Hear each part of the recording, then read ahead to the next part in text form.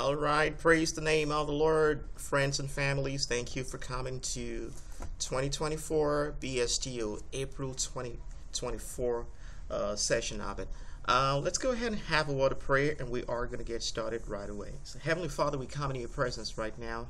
Uh, thank you for the gift of life. Uh, thank you for an opportunity to fellowship with one another.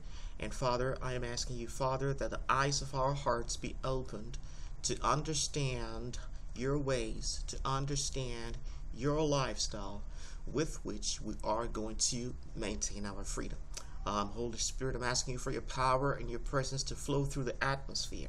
Even for those who are going to be watching this presentation at a later date, let your power minister grace, minister mercy to them and their circumstances in the name of Yahushua. Amen. Amen and amen. Glory to God. Thank you for coming in. This is Biblical Steps to Overcome from HeroesMart Ministries. There is therefore now no condemnation to those who are in Christ Jesus, because the law of the Spirit of life in Christ Jesus has set us free from the law of sin and death. That's what Romans chapter 8 and verse 1 talks about, and there is no condemnation, condemnation for us in Christ Jesus because of that scripture. So, um, no matter what the devil might have used to tag your Christian testimony, know that there is no condemnation for you. There is a way out of any situation. So, we are going to be talking about um, uh, what bad habits are, what negative addictions are. We're going to be using that word, bad habits and neg negative addictions, interchangeably. Why we need to come out of those kind of things, the reason people get addicted to start with, the path to and the path out of negative addictions. All right. So, what are addictions? Addictions are going to be enslavement to bad habits. Um, and the Word of God says in Romans chapter 6 and verse 16 says, Don't you know that when you offer yourselves to someone as obedient slaves, you are slaves to the one you obey, whether you are slaves to, to sin, which leads to death, or to obedience, which leads to righteousness. Well, this verse of scripture lets us know what enslavement is going to be all about. And that is what disobedience or sin is. And incidentally, there is a dictionary's definition which says something clo closely akin to what Romans chapter 6 and verse 16 is talking about. It says the, the addiction is going to be the state of being compulsively committed to a habit or to a practice or to something that is going to be psychologically or physically habit forming to such an extent that its cessation causes severe trauma. So that sounds to us like there is a situation in which people want to get free from something, but they have shackles literally snapping them back to that particular habit. And that's the reason this graphic is on the board. Well, that's what a bad habit is. That's what addictions are. Now, by the grace of God, uh, lots of us in this ministry, uh, we don't have situations of bad habits and addictions in our lives, but we still have these conversations every month every month because we want to steer far away from this kind of situations. How do we do that? Well with the wisdom wisdom of the righteous. But for other people who may be stumbling on this presentation at a later day, if you have certain challenges that are dogging your heels you really want to get get free from them but you find yourself recursively going back into those kind of bad habits and situations well, there is hope for you. We are going to be talking about some wisdom strategies which we discovered from the pages of the Bible through which you can get free. So stay on board with us. But this is what addictions are per capita. This is this is what bad habits are per capita. Now, uh, why should we come out of it? So, um, if you're watching this presentation for the very first time, well, you may you might you might have resigned yourself to it. You know, this is going to be the way I'm going to be forever. Well, that's not a good deal because I'm going to share with you certain staggering statistics that will jolt your mind and potentially jolt you into action with regards to wanting to come out of it. Um, do you know that thousands of people die every year because of some kind of a bad habit? Over $600 billion is wasted or spent every year treating bad habits or addictions. 56% of divorce cases are caused by bad habits. Bad habits steal, steal people's peace, shatter aspirations and dreams, and most importantly, the spirit of disobedience in the air causes it, and it sends, it is sending people to hell. So it is something that we don't want to play with. We've got to we've got to figure out how to dislodge, how to get out of every bad habit, of every addiction by the grace of God. Why? Revelation chapter 21 and verse 8 says, But the cowardly, the unbelieving, the vile, the murderers, the sexually immoral, those who practice magic arts, the idolaters, and all liars, they will be consigned to the fiery lake of burning sulfur. And this is the second death. Okay? So you see over there, all those things are going to be in the categories of bad habits immorality and magic arts and liars and idolatry. Well, we don't want to play with all those kind of things because they are going to send people to hell. Now, we know lots of people really want to come out of it. I mean, they go through prescription medications, they go through therapy, they go through all kinds of, you know, treatments to want to get rid of bad habits. But the challenge is bad habits and addictions are spiritual problems. And you do you do not try to overcome a spiritual problem physiologically or physically. You got to understand how to get into a counteracting spiritual strategy to overcome a spiritual problem. Well, why are we saying that? Well, the reason we're saying that is because Ephesians chapter 2 and from verse 1 to verse 2, it says, As for you, you were dead in your transgressions and sins, when, in which you used to live, when you followed the ways of the world and of the ruler of the kingdom in the air, the spirit who is now at work in those who are disobedient. Well, did you see that there is a spirit behind disobedience based on the evidence of that scripture over there? And spiritual forces are much faster. They are they have access to more more information than physical forces or than the realm of natural.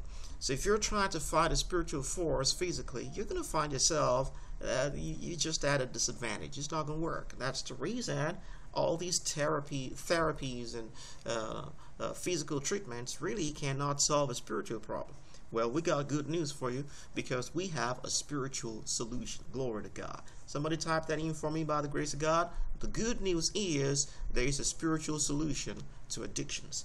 And that's what the Bible promises. That's what the Bible identifies for us. So fasten your seatbelts and let us identify that spiritual solution. All right. So why do people get addicted? Entertainment, roller coaster, video games, you know, whatever's going to make me feel good. Entertainment.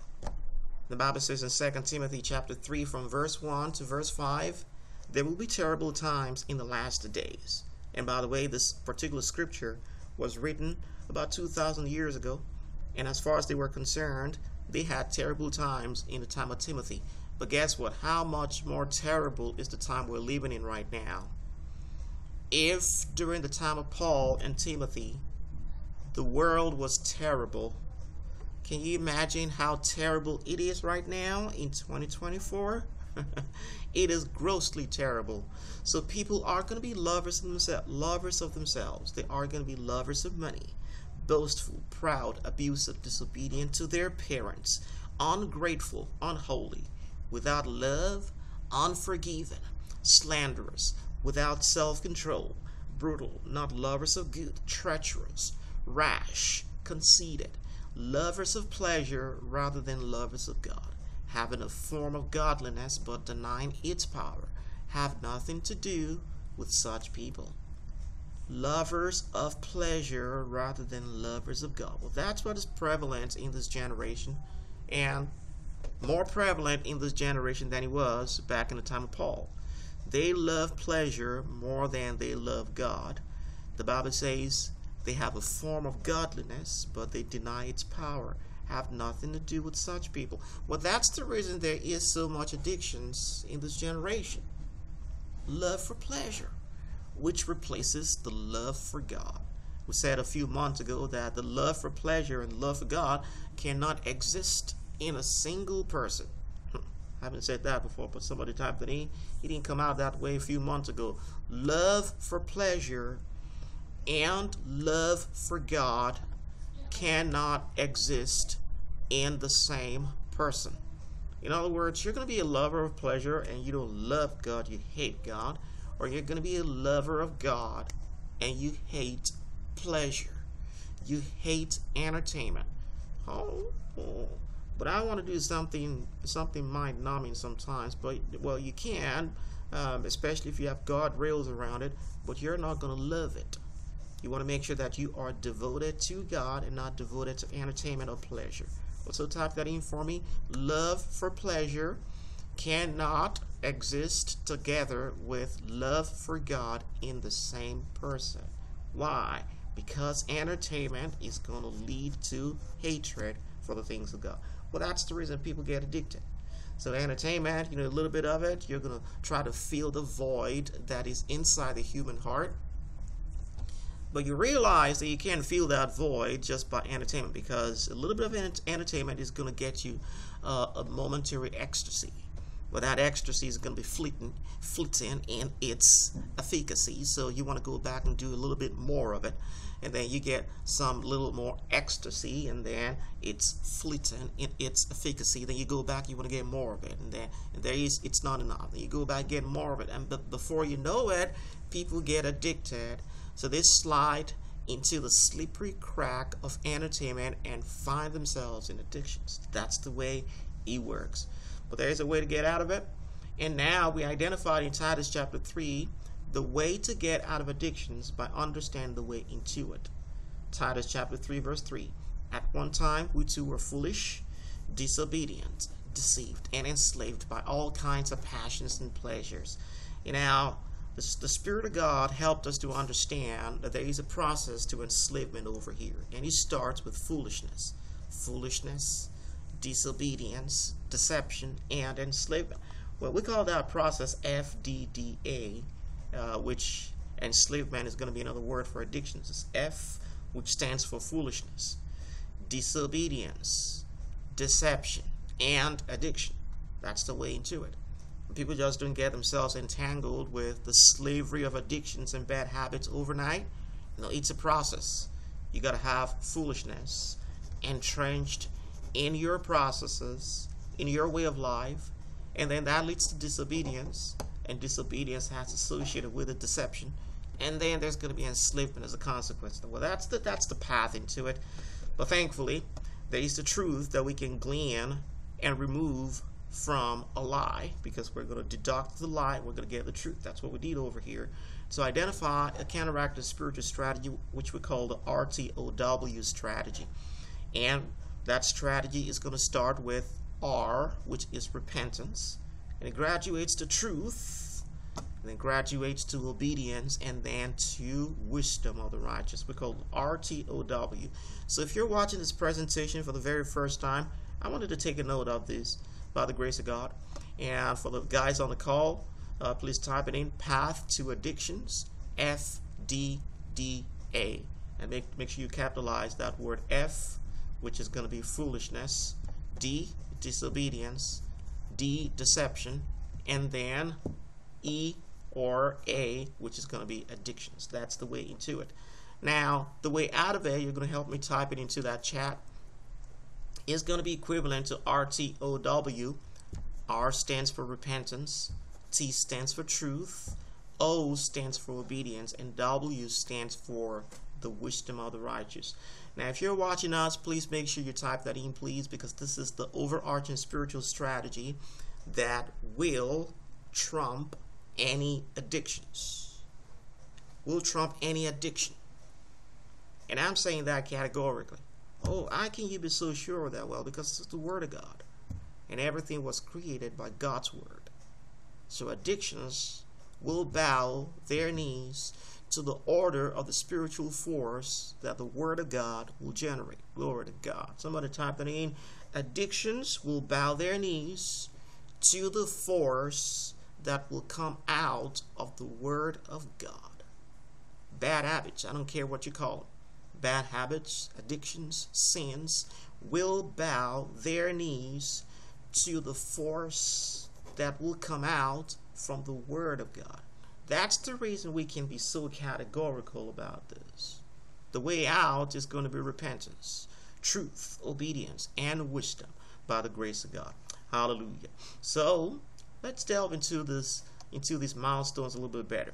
So when we're talking about um, FDDA, which is the way in, It starts with foolishness. And the question is, what is foolishness? Well, foolishness is not necessarily sin. It just means a life of no structure.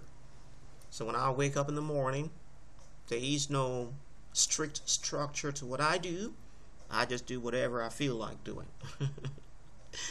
and in the afternoon, well, I feel like do whatever I want to do. And I go to bed when I want to go to bed. I wake up when I want to wake up. I eat whenever I want to eat. Um, I drink whatever, whatever I want to drink, and there are no guardrails to whatever I do. Well, that is what foolishness is, because in the mode of doing doing things like that, the devil is going to be actively working to make sure that he slides sin into my story. Oh, well, after all, there's no, they don't have any guardrails. You know, just give them a little bit in their circumstances, they're going to fall prey to it. Well, that's foolishness. And unfortunately, that leads to disobedience, which is going to be equivalent to treason and sin. And disobedience has associated with it deception, which deceptions are going to be strongholds of lies and beliefs that try to reinforce the condition of disobedience. And when that reinforcement happens, the condition of the person becomes habitual treason right now. It becomes addictions. That's the way into it. We call it FDDA. But the way out is the RTOW, repentance, which is making a U turn, truth, overcoming deceptions, obedience, and wisdom, which will be equivalent to discipleship strategies that we identified through these studies by the grace of God.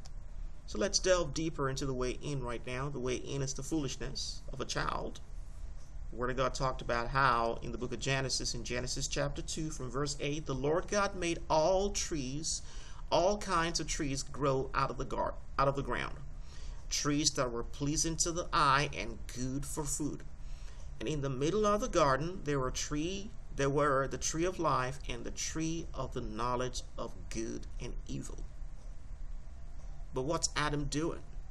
There is no record in that passage of scripture that Adam was methodically eating from the tree of life or was methodically steering away from the tree of the knowledge of good and evil.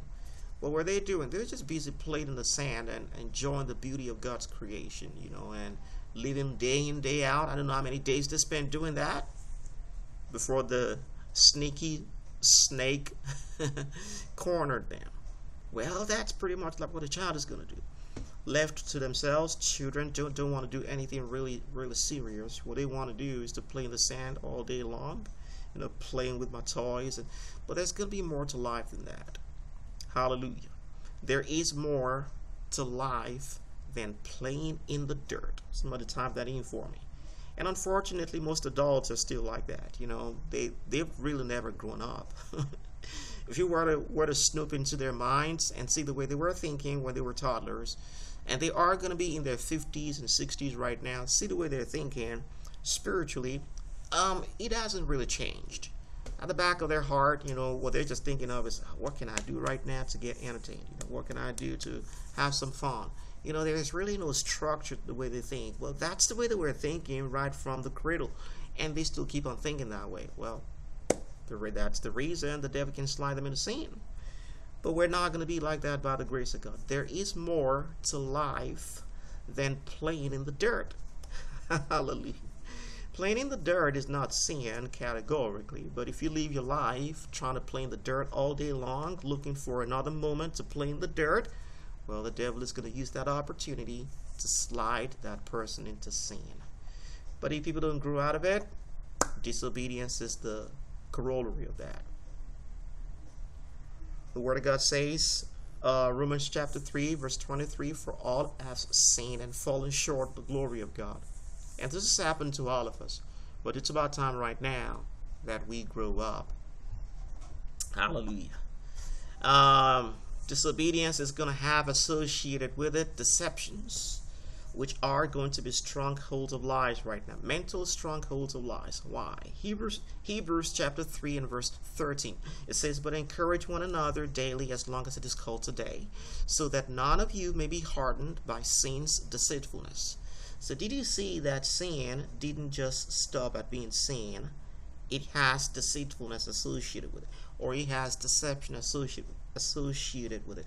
And that deception or deceitfulness has the potential of hardening the human heart. Hmm. Deceptions harden the human heart. Somebody type that in for me. You see that? Sin leads to deceitfulness or deception, and the purpose of that deception is to harden the heart. What's the meaning of a hard heart? Well, lots of people may not understand what he means, um, even though maybe intuitively people can understand it. But a hard heart is a hardened will. It's it's a will that is difficult to change or to bend. You know, you, you really can't change a course of direction naturally anymore when the will is hardened. Now, that's what deceitfulness of sin is going to cause. It's a stronghold, it's a belief, it's a configuration of your thought processes right now that makes it difficult for the person to change. That's the reason treason is dangerous. Oh, but I thought Jesus will forgive me. Yes, He's going to forgive you. The blood of Jesus is going to cleanse your guilt. Well, the blood of Jesus does not get rid of the hardness of the will. So this generation needs to understand. So don't play with sin. Somebody type that in first by the grace of God. Do not play with treason. It will harden the heart. It will harden the will. Becomes more difficult to change. Ah, do not play with it. Well, that's what deception tries to do. Any people don't understand how to get rid of it. Oh, but I, I played with sin right now. Doesn't mean I'm doomed forever. Well, there is a, a way to walk out of it. We're going to get to that. Uh, but we're just going to try to understand the uh, pathetic situation of sinners. Okay, so when they get hardened and they don't know how to get get rid of it, milestone number four is going to be the situation, and it's it's it is pathetic because it's like a whirlpool. So you jump into a whirlpool and you really can't get out. It means it's a pool of water that keeps spinning right around, right around, right around. We're not getting anywhere, just right around, right around. And that's what treason does to people because there is deceitfulness and hardness associated with their wills right now. That's milestone number four. This is the condition of addictions over here. Oh, but everybody is addicted. Don't you think God's going to going to relax his standard and he's he's just going to turn a blind blind eye to it and say, well, it doesn't really matter. No, no, no. God is not going to relax his standard just because this generation can't get it right. No. Let God be true and everybody else a liar. Some other type that in for me. God's we may resign ourselves to addictions, but God is not resigning to addictions. Somebody type that in for me. So uh, everybody else in the world may be going to hell. You make up your mind. I'm not going to hell with everybody else in the world. They may all be addicted. That's their problem. I'm, I'm doing something else with my story. And if God finds one person like that on the earth, He is going to tighten the noose on the rest of us. Come on now. No, the Father is not going to re- resign Himself to addictions. You got to come out of it. The Father does not resign Himself to addictions, and neither should you. Somebody type that in by the grace of God. So, how do we come out of it right now since uh, this situation is so pathetic? Well, the way out is going to be RTOW, and it starts with repentance, which is what you're doing right now. If you stayed for the uh, next for the past 20 minutes listening to us, watching this presentation for the very first time, uh, congratulations. It means that you are over here right now. You are in milestone paucity one. You want to repent. And what is repentance? Repentance is a change of the mind, firstly, a change of the will that leads to a change of the mind that leads to a change of conduct. Hallelujah. Somebody type that in. I don't think I said it like that before. Repentance is a change of the will, which leads to a change of the mind, which leads to a change in conducts. And all those three things have to be there for it to be called repentance. If I say, well, I repent, I change my will, I change my mind, but I'm still acting like I acted yesterday, it means I, have not truly repented. No, repent, you got to change your actions as well.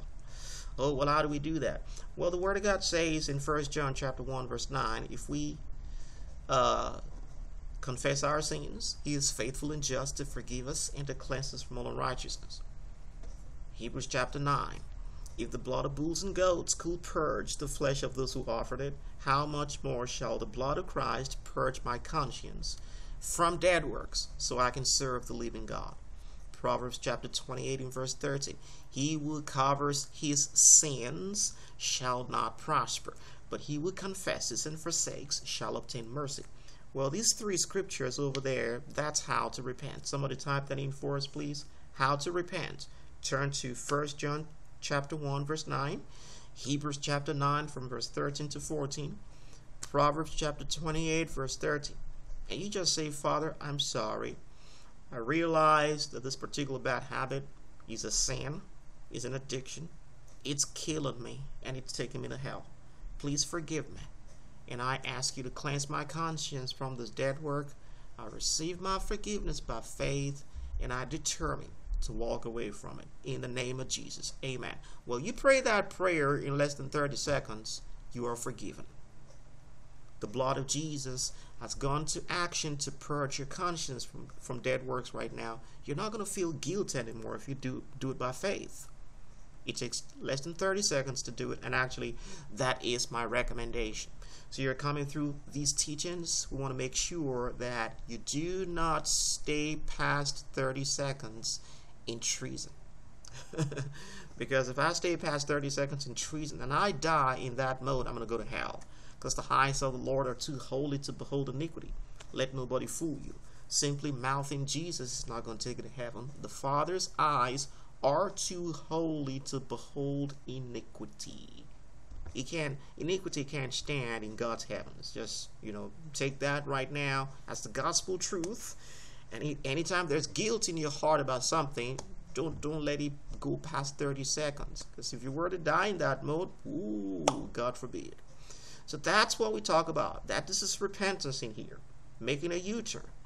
Consider how far you have fallen. Repent and do the things you did at first turn, make a U-turn, change your will, change your mind, change your actions. That's what repentance is. Hallelujah. How many people can do it right now by the grace of God? I believe you're saying yes and yes and yes. That's how to repent. It's 30, 30 second process. Oh, but I repented last week, but I find myself still doing something else like that again. Well, that's the reason for this milestone. Milestone number two is going to be truth the reason you find yourself snapping back into the errors of your past is because you did not graduate to the truth milestone. Because, you know, we, we talked about in, the previous slide that sin is going to have associated with it deception, right? So that deception is going to still be, be there in the will until you unearth it. It's going to be there as a stronghold. It's going to be there as the hardness of the human heart, which has the potential of snapping you back into the sins of the past. Well, what do you want to do? John chapter 8 and verse 32. 32. It says, Then you will know the truth, and the truth will set you free.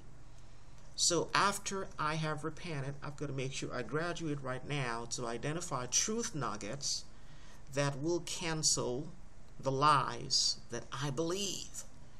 That's the reason for this milestone over there. Milestone number two is called truth. So we're walking through the RTOW strategy right now. We've come past repentance. We've come past repentance. We are right now at the truth milestone. So what is truth? Well, there's another chart over here that talks about what truth is going to be all about, helping us to identify it. Truth is going to be equivalent to lies minus distortion. Because a lie is a distorted form of truth to start with. How do we know that? Look at what the devil told Eve um, during the fall in the book of Genesis. The devil told Eve that, well, if you guys eat from the tree of the knowledge of good and evil, you are going to become like God. And if we take a look at that, there is a truth in what the devil said, but there's a there's a distortion in, in it as well. Why? Because the Father, when he was issuing his judgment on Eve and Adam, he said, The man has now become like one of us. Which kind of you know validates what the devil said. He said, Yeah, when you eat it, you're gonna be like God. Correct. So eating it made them to be like God sounds like the truth, but the distortion in it is the process of becoming like God as far as knowledge was concerned is distorted. Hmm. Somebody type that in. I know if y'all can catch a couple of nuggets from there. so the devil said, when you eat the fruit, you're gonna be like God. God's just trying to hide something away from you guys, you know. He he doesn't want you to be like him. Well, as far as knowledge was concerned, they were not like God, correct? But as far as nature was concerned, they were like God. And the appropriate process to grow in knowledge, to know good and evil without necessarily partaking of evil, was not to come in evil and to do evil. That's the distortion in it. So the devil tricked them to believing that if you want to know good and evil, you got to do evil. But that's a lie. The way you know good and evil is to be eating from the tree of life. Now that's the truth in there. So, granted, Adam and Eve were a little bit deficient in their knowledge uh, in comparison to God. That's okay, but that's not going to be like that forever. And besides, God gave them the implicit instruction to be eating from the tree of life, which they neglected. Which, if they had been eating from the tree of life, they would have known good and evil without necessarily doing evil. So if you remove that distortion away from that lie statement, you can retrieve the truth, which in that situation would have been God wants us to be like Him as far as knowledge of good and evil was concerned, but not by doing evil, rather by eating from the tree of life. And that's the truth. Now, I made that point to let you know that all lies are going to be like that. All lies are going to have truth and distortions in them. And now this chart is trying to, to help us to methodically identify lie statements embedded in truths. And when you identify lie statements, the distortion of lies or lie distortions inside truths, the challenge is to remove the distortions from the lies, and then you are going to retrieve the truth. And practically, we're going to identify certain lie nuggets or lie statements which the truth nuggets of the Word of God will help us to get rid of. For example, simply calling Jesus Lord is going to take me to heaven. It sounds like the gospel truth. Lots of people believe that in this generation. Well, there's a distortion in that. And that distortion is the word simply over here. Alright? Simply calling Jesus Lord is going to take me to heaven. So that word simply over here makes this statement a lie. Why? Because he goes crosswise to the words of the Master himself. Master, the Master himself in Matthew chapter 7. It says, Not everyone who says to me, Lord, Lord, or who simply calls me Lord, Lord, will go to heaven, but only those who live to please my Father. So the word simply is, not, is going to be inappropriate to create some gospel cliche like this and billions of people, millions and billions of people believe this lie statement over here. It's a lie. Well, that's the reason they can't get rid of sin. They believe a lie. But if I were to remove the word simply, and I believe my gospel truth right now, calling Jesus Lord and leaving to please the Father, is going to take me to heaven. Oh, the devil doesn't have any foothold right now to drag me down to sin. But if I don't, he's going to call, come to me and say, well, come on, you still call Jesus Lord and you're going to heaven. I mean, it doesn't matter if you have a little bit of, you know, uh, treason over there. After all, nobody knows it. It's, it's just in your heart, in your mind. You know, don't worry about it. And if I don't have the truth of the Word of God believed firmly, I'm going to fall for it. But thank, thankfully, by the grace of God, these sessions are going to unearth the distortions in our hearts Identify the truth of the Word of God so we can be free. Luke chapter 6. What's the point of calling me Lord, Lord, and you wouldn't do what I've told you to do. That's what Jesus said over there. So those are going to be truth statements with which we can remove and eliminate distortions of the enemy. Another example is going to be tests and trials will last forever. That's what the devil tries to tell people anytime they've fallen multiple times over. No, or during a time of pressure. Well, this trial is going to last forever. No, you can't, you can't, you can't get out of it. There is no way out. Well, the Bible says that there's patience in you if you're born again, especially. The fruit of the Spirit is love, joy, peace, long suffering, gentleness, goodness, faithfulness, meekness, temperance. Patience is inside the recreated human spirit. And with the patience inside the recreated human spirit, we can outlast any test, any trials by the grace of God. Another lie, yielding to the pressure of the enemy, will make it stop. Oh man, this addiction is just trying to kill me. The devil doesn't leave my mind. He keeps on telling me, well, go ahead and do this, go ahead and do this. It seems like I'm going to die. Well, that's a lie to start with. You're not going to die. The way you resist, the way you overcome is to resist and overcome that pressure. Because if you yield to the pressure right now, momentarily, uh, two weeks down the road, a month down the road, well, the pressure is going to get bigger in front of you. And then you're going to yield to it. You get momentary relief. But then a few few months down the road, he becomes bigger. So he doesn't work. Yielding to pressure is equivalent to bigger pressure. Do not bend, do not bow, you will not burn. Somebody type that in by the grace of God. The way to get rid of, of the pressure is to resist it, submit to God, resist the devil, and he will flee away from you. James chapter 4 in verse 7. Somebody type that in for us. Yielding to the pressure is equivalent to bigger pressure. So do not bend, do not burn, and you will overcome. Hallelujah. The Word of God says there is no peace for the wicked. In Isaiah chapter 48 and verse 22. So when I yield to pressure, I just mortgage my peace to the devil. I transferred my peace over to the devil like that. And it's going to come back a few days, a few years down the road to keep dogging my heels with it. Another lie is the blood of Jesus will completely undo the effects of a past misdeed. Well, that sounds like another gospel cliche. Come on, I just plead the blood over it. Well, the blood has its place, and the place of the blood is documented in Hebrews chapter 9. It says, If the blood of bulls and goats could purge the flesh of those who offered it, how much more shall much more shall the blood of Christ purge your conscience so you can serve the living God? Did you see the blood of Jesus has a specific task? and the task is to purge my conscience. Turn to Hebrews chapter 9 from verse 13 to 14 if you're watching right now. Somebody type that in. The task of the blood is the cleansing of the conscience, not the removal of afflictions and the circumstances. No, the blood wouldn't do that for you. It's not even going to soften your will. The blood wouldn't do that for you. So, how do you do that?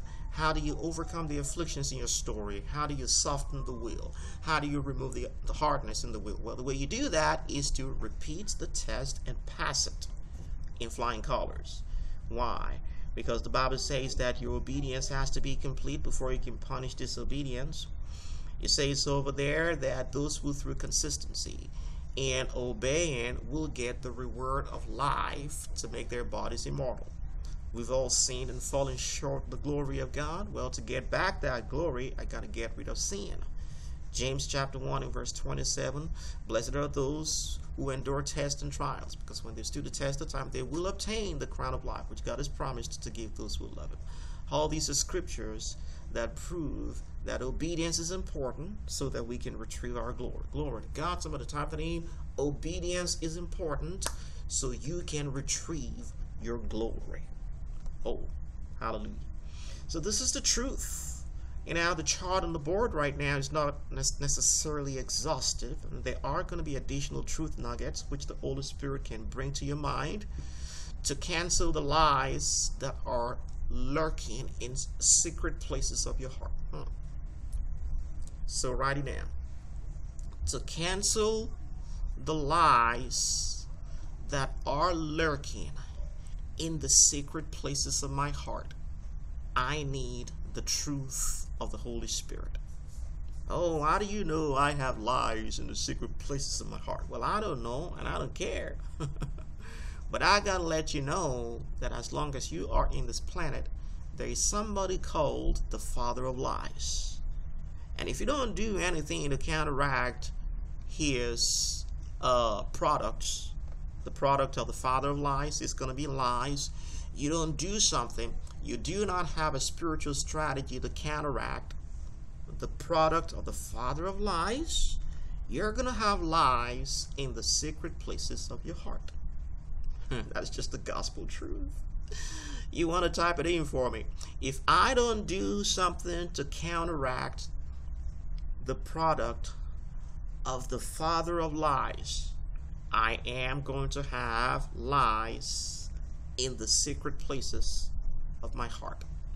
And those lies, they're like time bombs. I mean, they're getting ready for the circumstance on the outside to be right, and then you're going to see the beast coming out of me. And you're going to wonder, wow, how can I ever do such a thing? How can I ever think like this? How can I ever say this? the beast has been in your mind all the while. It's been actually in your belief system all the while you just didn't do anything with it. It was lying there dormantly. Well, that's the reason this exercise is going to be important. You got to make sure that you go to the Holy Spirit every day asking for truth. Because the Holy Spirit can see those secret lies and those secret belief, beliefs in your heart, and He's going to be shining the truth of His Word over there on a regular basis. Hey, don't believe that lie.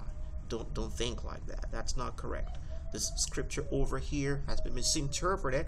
No, this is the appropriate perspective. Why? Because you're giving the Holy Spirit a legal basis to do that right now. So the chart we have on the board is not necessarily exhaustive. It means it doesn't capture all the lies that may be lurking in the secret places of people's hearts, but at least it gives you a framework that you can work with to understand how to identify the truth, what to do to cancel a lie, but the onus is still on you to go to the Holy Spirit and ask the Holy Spirit every day, Father, please teach me your ways. And that's the reason for these scriptures over here Proverbs chapter 2, Ephesians chapter 1, Exodus chapter 33. You go to the Holy Spirit every day. Say, Lord, open my eyes today.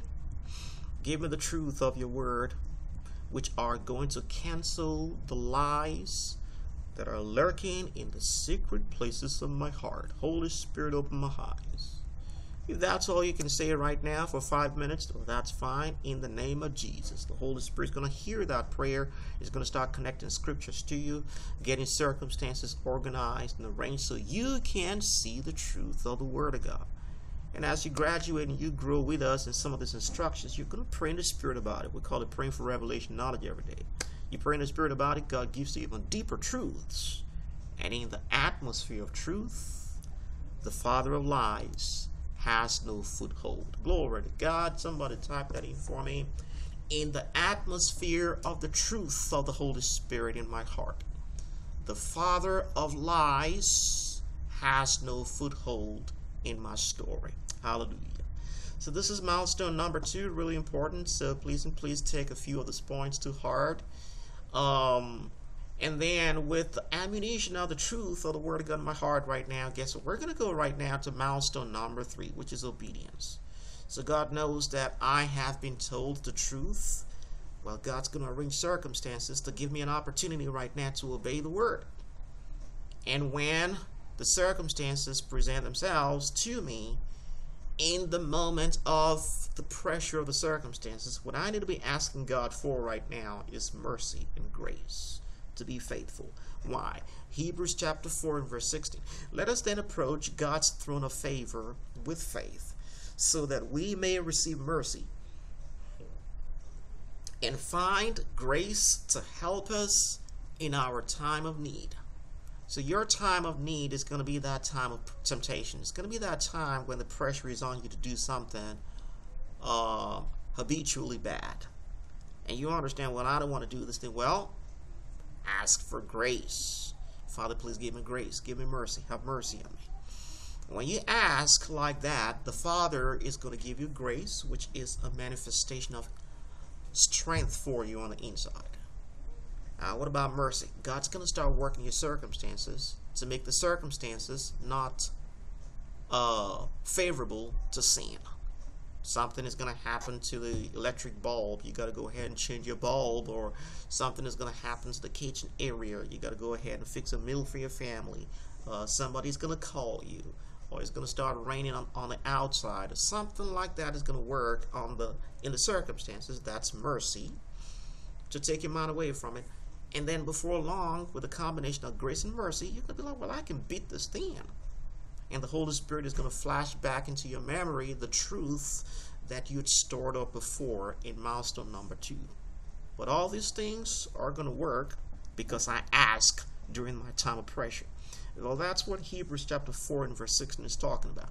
And then the more I obey during my time of pressure, the easier it is to obey subsequently and it's going to get into a situation that I obey becomes easy. I obey becomes easy. I become, and then you get trained right now in obedience. It's pretty much what happens to a dog, and that's the reason we have a picture of a dog over there. You train the dog to be submissive.